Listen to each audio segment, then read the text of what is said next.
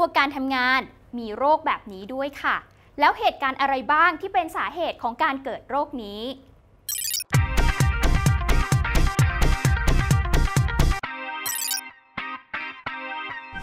พอดแคสต์รีวิววันนี้ชวนติดตามเรื่องราวสุขภาพกับรายการโรงหมอค่ะ เราจะพูดถึงเรื่องราวของคน แล้วก็สภาพแวดล้อมการทำงาน ที่เป็นสาเหตุของการเกิดโรค กลัวการทำงาน หรือว่าเออร์โกโฟเบียค่ะ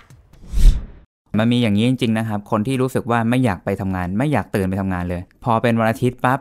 โอ้พรุ่งนี้วันจันทร์แล้วไม่อยากไปทำงานเลย มันอาจจะมีขี้เกียจด้วยนะ แต่จะมีคนที่แบบคล้ายๆจะรู้สึกตื่นตระหนก นอนไม่หลับหัวใจเต้นแรง คล้ายๆ จะเป็นลมทุกๆวันอาทิตย์ตอนกลางคืน แล้ววันศุกร์ให้ความรู้สึกเหมือนหลุดพ้นจากนรก ผมเชื่อว่าคุณผู้ฟังอาจจะเคยแบบบางท่านเคยผ่านประสบการณ์ตรงนี้มาค่ะนะครับแต่บางคนอาจจะรู้สึกว่าเฮ้ยมีคนใกล้ตัวเราที่กำลังเป็น จริงๆ แล้วความไม่อยากไปทำงานอะมันมีเลเวลของมันอยู่ หรือพูดง่ายคือมีระดับระดับอ่อนระดับกลางระดับแรงอะไรเงี้ยครับเวลาเราเรียกโรคหรือเรียก phobia เนี่ยมันจะเป็นที่ระดับรุนแรง แต่ว่าถ้าเป็นคนที่แบบมีระดับ phobia ขึ้นไปเนี่ยมันจะเป็นความรู้สึกแบบเหมือนจะเป็นลมวูบมือเย็นซีด panic ซึ่งต้องบอกว่าอย่างเงี้ยฮะสิ่งพวกเนี้ย ที่แบบมันดูรุนแรงมันมักจะเกิดขึ้นมาจากการที่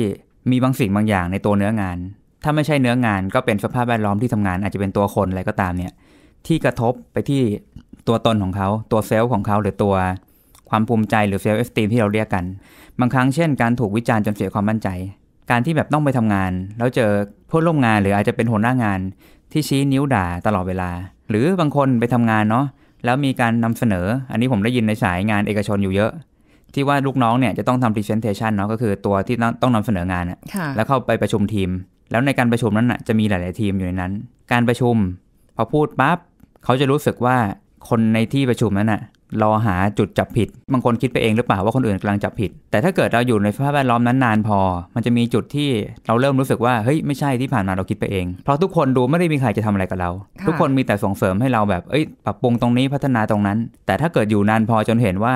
มันมีคนที่แบบวิจารณ์แล้วด่าไปที่ตัวคนทำว่าเฮ้ยคุณไม่ได้เข้าใจคุณบังกากไปอ่านหนังสือมาใหม่อะไรก็แล้วแต่ แล้วพอหันไปที่หัวหน้า หัวหน้าอาจจะไม่ปกป้องเรา นอกจากไม่ปกป้องเราไม่พอเนาะบางอย่างที่เรานำเสนอหัวหน้าเป็นคนสั่ง แต่พอถึงเวลานำเสนอปั๊บหัวหน้าไม่ช่วย บอกว่าค่ะเด็กมันทำเป็นไงครับ เกิดความรู้สึกทั้งแบบเสียใจทั้งเสียศูนย์ทั้งรู้สึกโดดเดี่ยวไม่ถูกปกป้องอืมโดนแทงโดนทำร้ายทางจิตใจ แล้วบางทีเขาอยู่ในตำแหน่งที่ เรียกว่าเหมือนเป็นเด็กอะเนาะ จะมีคนที่แบบตำแหน่งสูงกว่ามีอาวุโสกว่า เขารู้สึกไม่สามารถเถียงหรือเอ่ยเสียงที่จะพูดความรู้สึกนี้ได้ชวนฟังรายการโรงหมอกับตอนโรคกลัวการทำงานได้ที่เว็บไซต์ www.thaipbspodcast.com นะคะ หรือฟังผ่านแอปพลิเคชันไทย PBS Podcast นอกจากนี้คุณยังสามารถรับฟังได้ผ่านพอดแคสต์ในช่องทางอื่น ๆ ที่คุณกำลังรับฟังอยู่ อย่าลืมค่ะ มีเรื่องราวที่น่าสนใจให้ได้ติดตาม อย่าลืมรับฟังกับรายการพอดแคสต์รีวิวนะคะ thank